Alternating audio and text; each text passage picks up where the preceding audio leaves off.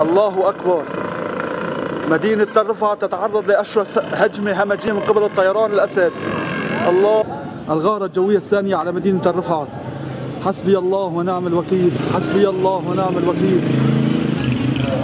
وتستمر الهجمة الشرسة على مدينة تل رفعت الغارة الجوية على مدينة تل رفعت الله أكبر.